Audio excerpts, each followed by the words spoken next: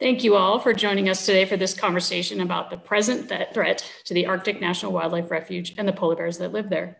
My name is Amy Cutting. I'm the curator of the North America area here at the Oregon Zoo, and I'll be your moderator today.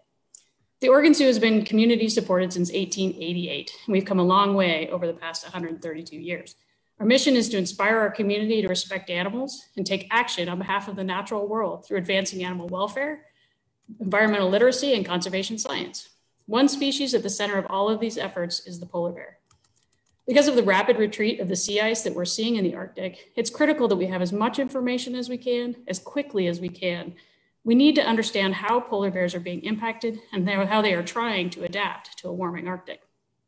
Working with the beloved bears Conrad, Tasul, and then Nora here at the Oregon Zoo, we've led the way in using zoo-based research to support conservation science.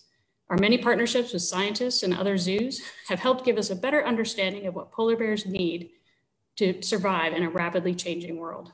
We also strive to make this science visible and accessible to our community so they know what's at stake and what actions they can take for polar bears, people, and the habitats that we all depend on. Our discussion today could not be more timely. Just yesterday, the Trump administration's Bureau of Land Management issued a notice of sale in the Arctic National Wildlife Refuge. What this means is that oil and gas companies have never been closer to being able to drill in this important denning habitat for polar bears. Today, we'll be exploring what this would mean for the polar bears and the Arctic, as well as what we can all do about it. We're very fortunate to have two champions of science and climate action with us today. Oregon's US Senator Jeff Merkley has long been on the front lines in the battle against climate chaos and in working to save our nation's great natu greatest natural treasures from drilling for fossil fuels. Among the many bills he's introduced related to preserving the Arctic, curbing climate change and protecting habitats from pollution is the Stop Arctic Drilling Act, which prohibits reckless, high risk drilling that will accelerate climate chaos and devastate Arctic ecosystems, including those critical for polar bear survival. Dr. Steven Amstrup, also joining us today, is Chief Scientist at Polar Bears International, a nonprofit focused on polar bear conservation. Prior to joining Polar Bears International staff in 2010, he spent 30 years at the US Geological Survey's Alaska Science Center, where he was project leader for polar bear research, conducting research on all aspects of polar bear ecology in the Beaufort Sea. He led the research team whose findings convinced US Secretary of Interior Kempthorne to list polar bears as a threatened species and is a past chairman of the IUCN's Polar Bear Specialist Group. Each of our guests plays a unique and critical role in conservation, science, and policy, Thank you both for being here. This is uh, really a privilege for me and for the Oregon Zoo. For today's conversation, I'll ask three questions of each of our guests uh, to get us started, followed by some questions from the audience. So please post your questions in the Facebook comments and we'll select some for the panel to answer. Okay, my first question is for Dr. Amstrup. My first question concerns the polar bear population that lives in the Arctic National Wildlife Refuge. Dr. Amstrup, you have studied polar bears in this part of the Arctic extensively. How is that population faring? Well, I want to give you some uh, background, Amy. First, uh, we have to recognize that polar bears feed mainly on a couple species of seals that they can only catch from the surface of the sea ice. They've spent 100,000 to maybe a quarter of a million years evolving the specialty of catching these seals. And we can think of the sea ice as essentially the dinner plate for polar bears. There's very little for them to eat on land. When I first went to Alaska in the early 1980s, I could stand on the beach at Barrow or Prudhoe Bay in the summertime and look out and see the sea ice right there. Uh, the ice over the shallow continental shelf waters where polar bears preferred to be was right offshore and uh, if I was lucky, I might even see a polar bear hunting for seals out there if I had a good pair of binoculars. Now that ice is hundreds of miles offshore. It's beyond the curvature of the earth. If you're standing on the beach in the summertime now, there's no sea ice in sight. And due to this sea ice loss, the southern Beaufort Sea population has become one of the most imperiled of all polar bear populations. In recent years, cub recruitment has been only about half of what I recorded in the 1980s. And a recent paper documented about a 40% population decline. Wow, okay, thank you for that summary. Uh, my next question is for uh, Senator Merkley. You've been a key proponent of the Arctic Refuge Protection Act. In what ways will this legislation protect wildlife habitat?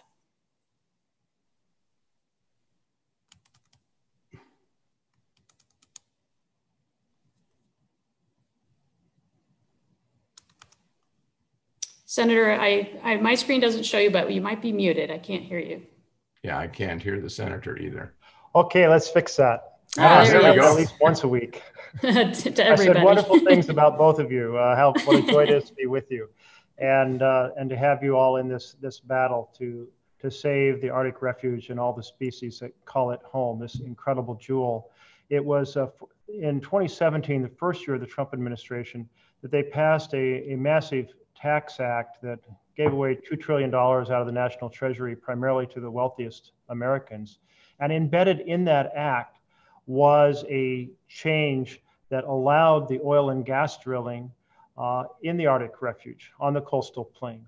So you have this pristine Arctic ecosystem, it's a, a national treasure, uh, home to some 250 species, caribou, migratory birds, uh, polar bears, of course, uh, for our conversation today. And what the Arctic Refuge Protection Act would do would create permanent protection for the coastal plain by designating it as a wilderness.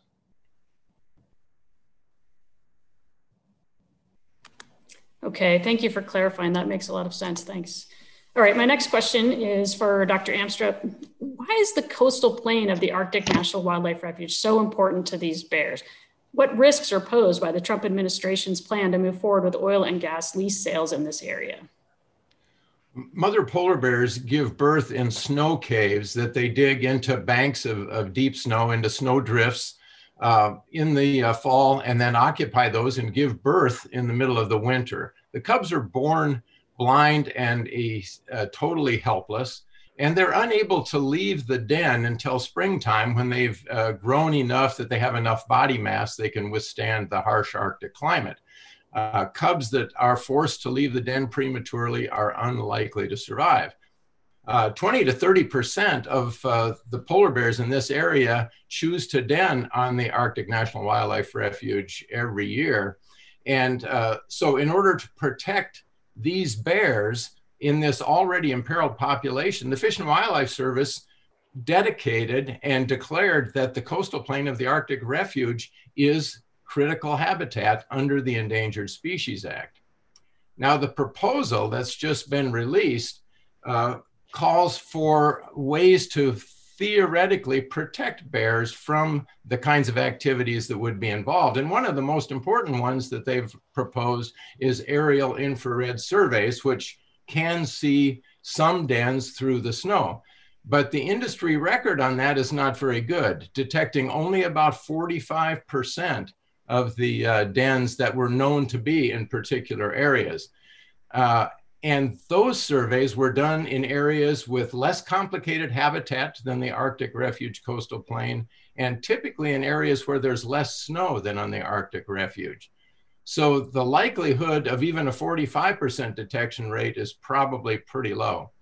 Importantly, if you look at the language of the uh, uh, proposed incidental harassment uh, document, what you see is uh, that the calculations have suggested there's a 21% of either injuring or killing a polar bear during the course of these activities.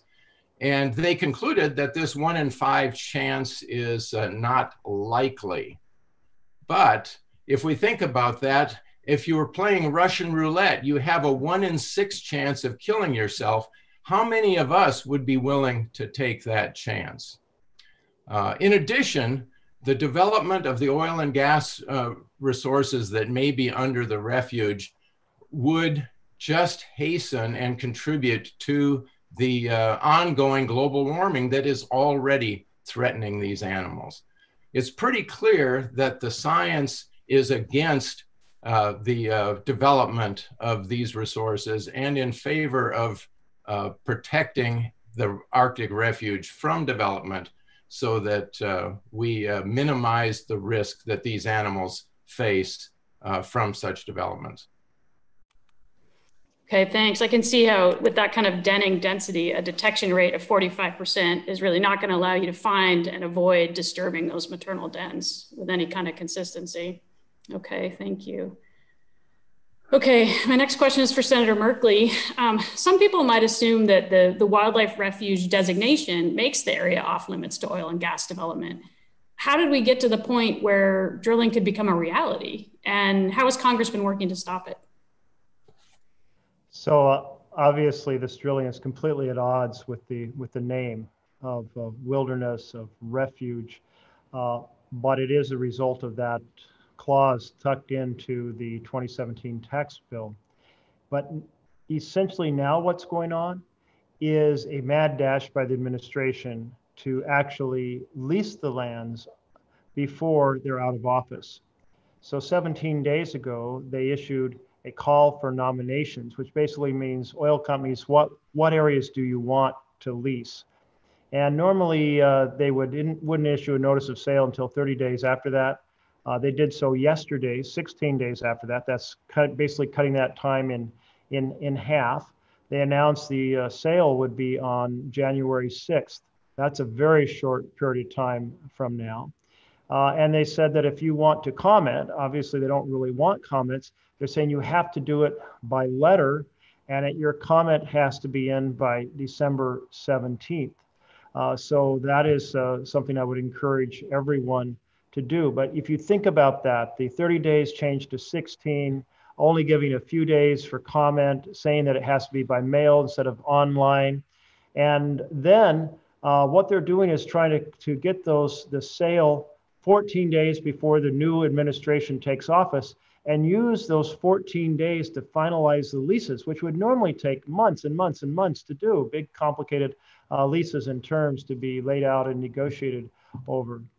Uh, so uh, that's the that's why we're in that's really why we're holding this panel conversation right now because it's such a dire situation and I'm hoping that everything possible can be done to obstruct this and, and enable the leases not to be finalized before President Biden takes office on January 20th. One of the things that a group of us did as senators, 15 of us, we wrote to 11 major banks to say, please uh, state to the public that you will not finance this oil and gas drilling in the Arctic Refuge. And this is a really a, a, a good moment uh, because just uh, yesterday or last week, I guess, the Bank of America joined us as the last of those banks to say that they would not finance this drilling in ANWR, in the Arctic Wilderness Refuge.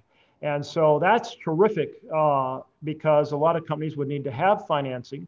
And it basically says to everyone who's thinking about buying these leases and drilling, there is a reputational risk here a lot of America is not going to be happy with what you're doing. Uh, and in addition, uh, we should apply the same thing to the insurance companies that would, would issue insurance for these companies for their various activities that they uh, might undertake. Uh, so um, there could be huge liabilities of damage done in this very fra- fragile ecosystem. It's, it's a very different world than, say, drilling in, in Texas. Uh, and so um, that also would be effective. I think it'd also be effective uh, for uh, Americans to say, you know, if you buy that oil, uh, you know what, we're not going to buy your gas that you turn it into, or some other forms of uh, threatened boycott. Uh, so um, uh, that's um, that's where we stand right now. That's why we're publicizing through this type of panel. Thank you so much for organizing it and for the research you all do to help us understand, and you all do at the zoo to help us understand in partnership with the field research, like Dr. Amstrup does, uh, how we uh, save uh, not just this pristine, beautiful uh, piece of the planet, uh, but also how do we take on the challenges global warming is posing to so many species. And by the way, a big piece of that is we have to rapidly stop burning fossil fuels rapidly. And uh, uh, so uh, that's, that's, I know that's broader than this immediate discussion, but the reason the Arctic is changing so fast, as the doctor pointed out, it is, those icebergs are, are disappearing offshore, is because the warming is accelerated at the poles. Uh, and so you're seeing incredible changes. In fact, there was the, uh, I believe, the first ever recorded 100 degree day north of the Arctic Circle uh, this winter this year. So um, uh, this year. Uh, so uh, big changes. We've got to work with nations across the globe, but immediately, that this moment, we have to stop the Trump administration from issuing and finalizing this sale of leases. Great, thank you. It's it's uh, really excellent to see that kind of responsibility from the big banks. Um, and just to let everybody know, at the end of the presentation, we will be putting up a slide that um, gives you information on how you can provide comment, um, as, as Senator Merkley mentioned. So I want to be clear that we'll be providing that information at the end. Okay, um, in the interest of time, we're going to keep moving. Um, I have one more question for Dr. Amstrup. Um, what actions would you like the next administration and Congress to take related to the refuge? Well, first of all, uh, we need to protect the Arctic Wildlife Refuge permanently as wilderness area. Uh, the 1002 area, the, the coastal plain, was originally set aside for consideration for drilling.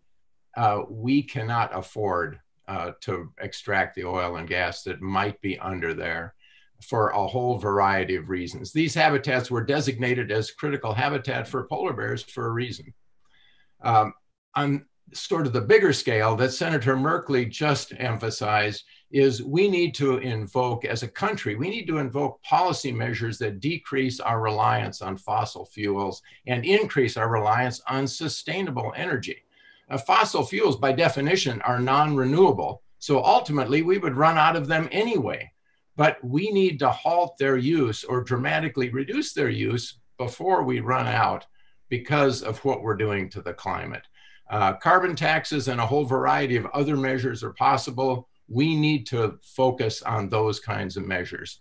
And to the extent that uh, we need to rely on fossil fuels for various parts of our economy, uh, we need to extract them from places that are less sensitive and less expensive to develop.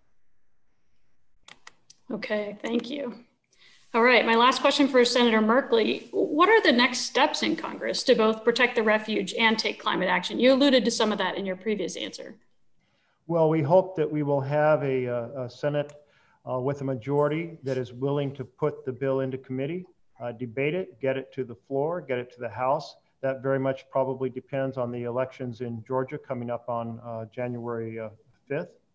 Uh, we need to uh, focus in other climate legislation on transportation, a major producer of carbon dioxide. This is the broader issue of, of climate chaos, on the energy efficiency of, of buildings, on conservation, on a rapid transition to renewable energy, and a transition that will produce millions of good paying jobs. In addition to the Arctic Refuge Protection Act, uh, we should stop Arctic ocean drilling, and there is a bill called Stop Arctic Ocean Drilling. Uh, we should uh, uh, pass the Keep in the Ground Act, my bill from uh, quite a few years ago, that says we should quit doing public leases of our land, American owned land. We, the citizens, own it uh, for the extraction of fossil fuels. This is something that actually uh, President Obama came around to after some merging over a couple years to agreeing with and, and blocked additional leases. We should look again at the 100 by 50 Act, where uh, we laid out, a group of us laid out, uh, a, a, plan to get to 100% carbon neutrality by 2050. It's something I had hoped that America would put a flag in the ground at the, the Paris uh, Climate Summit to say the whole world must do this. I think nation after nation is now reaching that conclusion. We need American par- partnership with the world and, and, and leadership with the world to, to make that happen. Uh, and we need to do some other things like say with uh, international institutions that finance projects around the world, uh, we are not going to support them anymore if they are financing new fossil fuel uh, infrastructure. So that's another approach. So we should look at this at every possible angle, realizing that if you overhaul our energy infrastructure, we will create millions, millions of good paying jobs uh, benefiting families across this country. Great, thank you. So I appreciate um, all of the background information that you folks provided. As you know, we have a number of people watching this webinar and we'll also be sharing it with folks um, as a recording. So I wanna make sure we get to some of our um, guest questions. I have, uh, we have some folks in the background going through those. And um, my first question is for the um, visitors, uh, our listeners at home. Uh, our first question is for Dr. Amstrup. Um, on a on a whole, so overall, polar bear populations, there's you know 19 different subpopulations. They seem to be doing pretty well as right now. So why are we so worried? I think that's a really important question because we hear from people who would deny global warming and deny its impacts that oh polar bears are a flagship species for global warming, and there still seems to be lots of them. Uh, well, what we are really concerned about is the continued warming and the future impact. In fact, we have several populations that are already declining as a result of global warming, some still holding their own, uh, but the problem is, and we recently published a paper showing this very clearly, that uh, population by population, they will begin to uh, tip over as the world continues to warm. So, yes, the fact is that there are still populations that seem to be doing well. We should view that as a blessing that, hey, this means there still is a chance to save polar bears, and we better get our act together to do it because the horizon shows us pretty clearly that uh, uh, they are uh, uh, going to disappear if we don't. Okay, thank you. Yeah, all the all the predictions your folks, your team was making, you know, 10 plus years ago have come to fruition. So we can we can believe the modeling that goes forward and shows the, what the impacts will be. Thank you. Uh, the next question is from Anna, um, and it's for Senator Merkley. She's wondering which banks, if you can tell us, have actually refused to finance oil and gas development in ANWR. And uh, I would uh, be, be, pleased uh, to uh, have my team email you a list of the 11. Uh, it's basically the 11 largest banks in America. So when you think about that, the ones you see advertised all the time, those are the 11 that got the that got the letter. And the fact that all of them uh, agreed to do this is great. Uh, we're now worried about any uh, secondary financing from smaller banks and, of course, as I mentioned, in, insurance companies. Uh, so um, I think um, uh, it's, uh, we'll get you the exact answer. We can post it on my website or we can send you an email. My staff is listening in, and but I don't have the full list in front of me. But it's all the majors you can you can think of. Thank you. Okay, our next question is from Elizabeth, um, and she'd like to ask both panelists. Maybe we'll start with Dr. Amstrup. But the question is, we hear a lot about how far down the road we've gone. Is it too late to do anything about climate change? Have we passed a tipping point, Steve? Uh, no, absolutely not. And one of the things, the paper that you mentioned a little while ago, Amy, that we published in 2010 showed clearly that there isn't a tipping point between temperature and Arctic sea ice. That as temperatures rise, sea ice extent will decline, but not in a, a, a, a stepwise fashion where suddenly we have passed a tipping point. It's a linear relationship, and if we can hold temperature, if we can stop the rise of greenhouse gases in the, in the uh, atmosphere, we can halt the warming. And uh, you don't have to look very far to see the papers that have been published, the proposals that have been issued on how we can make that happen, how we actually can stop greenhouse gas rise in the atmosphere. So it's entirely possible, and we just need to we need to convert the plausibility to the real possibility with our action. Great, um, thank you. Senator Merkley, do you have anything you'd like to add to that question? Well, I, I would say that every moment of delay makes the situation so much worse. For example, uh, in that Arctic area where you have less ice, you have less uh, sun reflected into space, so the blue waters absorb more energy and accelerate the heating. Where you have frozen methane ice, uh, as the temperatures warm, it starts to thaw and bubble up. Methane is adds to the global warming uh, gases. Uh, so we obviously, that's not a good uh, development. Uh, and so uh, the time to act well, would have been great 50 years ago, would have been great 30 years ago, but every bit we delay makes it worse. And so uh, there was never a moment to say we shouldn't act now because it's hopeless, because every additional delay makes the situation so much worse for the planet. And we've only got one planet. Uh, it's estimated, the serious scientific estimates uh, are that there are more stars in the universe than there are grains of sand on the Earth. Uh, I thought that was just an expression until I looked it up to see the actual uh, research on that. Uh, but we can't get to a habitable another planet. Uh, and um, if it ever, you know, it'll happen in fiction. It's not going to happen in reality in time to save our planet. We've got to make the changes right now. There was a, a Science Times article, I think it was in the Science Times um, uh, a week or two ago, about a period on the Earth where there were major lava flows uh, that triggered a lot of burning of stored carbon. Uh, and the results were we lost some 80% of the life on our planet.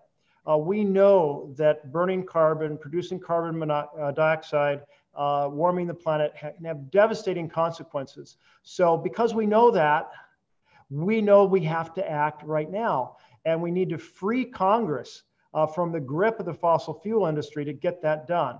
And so, we can, on another occasion, we can talk about campaign finance reform uh, so that Congress can better serve uh, science and better serve the people. Thank you so much. I appreciate that. I know we're um, we're getting a little tight on time, and one of the last questions that we had was about the um, contact information to submit comments. So we're gonna we're gonna um, put that up here shortly as I say goodbye. Um, and that is all the time we have for today, Senator Merkley. I know you have to run off to another appointment, but thank you so much for joining us today. Um, Dr. Amstrup, always a pleasure. Thank you. Um, I also want to thank all the folks at home, um, all the other viewers who've tuned in today, as well as all the people and organizations that are out there working to protect polar bears and helping us transition to a future of renewable energy. Uh, we'll also post this video on the Oregon Zoo's YouTube channel, um, and we encourage you to share it with anyone you think is interested in this important topic. Thanks again for joining us. Appreciate it. Thank you. Thank you, Doctor. Thank you, Amy.